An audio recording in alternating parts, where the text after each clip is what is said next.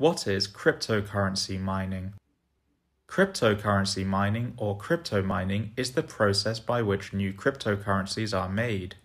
Crypto mining also refers to the validation of transactions when using cryptocurrency. People involved in crypto mining are known as miners. Successful miners receive new Bitcoin, Ethereum, or other cryptocurrencies. Cryptocurrency mining serves two separate functions. First, verifying and securing, that is, adding transactions to the blockchain. Second, creating and releasing new cryptocurrency. According to tech slang, cryptocurrency mining is an important process of the cryptocurrency system. It means that transactions involving cryptocurrencies are validated and recorded into the blockchain ledger. Crypto miners verify that a transaction is valid and bundle it into a block. A hash is taken from the preceding block and inserted into the new block.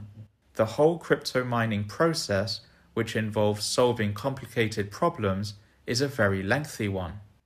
The creators made it lengthy deliberately to limit how much new crypto enters the market. Cryptocurrencies operate without a central bank, so somebody must collect all the crypto transactions to form a new block. The network computers that do this are called nodes.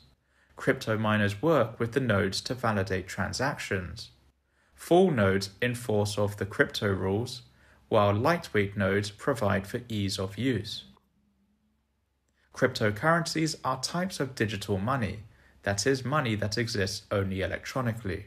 Cryptocurrency is an encrypted currency that exists online. Its creators say that the encryption makes this type of money secure.